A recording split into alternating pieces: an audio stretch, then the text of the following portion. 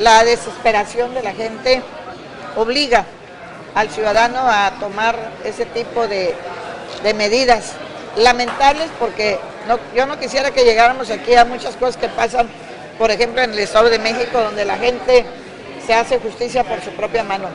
Pero al final, yo no sé, no soy abogada, pero yo creo que cuando alguien se mete a tu casa, eh, y pues tú lo puedes de alguna manera, este, eh, tienes que defenderte, ¿no?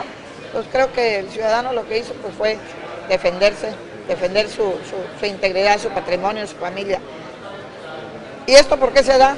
Pues porque no tenemos los suficientes policías para poder nosotros brindarle la seguridad y la vigilancia a todos los ciudadanos como quisiéramos.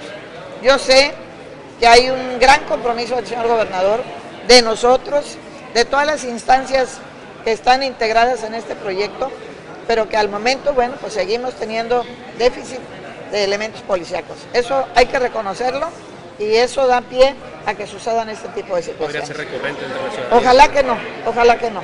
Ojalá que no se vuelva esto una, una costumbre, porque sería lamentable. Alejandro Beaven Alejandro Beaven está fuera de la ciudad ahorita, pero en su lugar está René y está el coordinador de aquí de la, de la, de Tampico.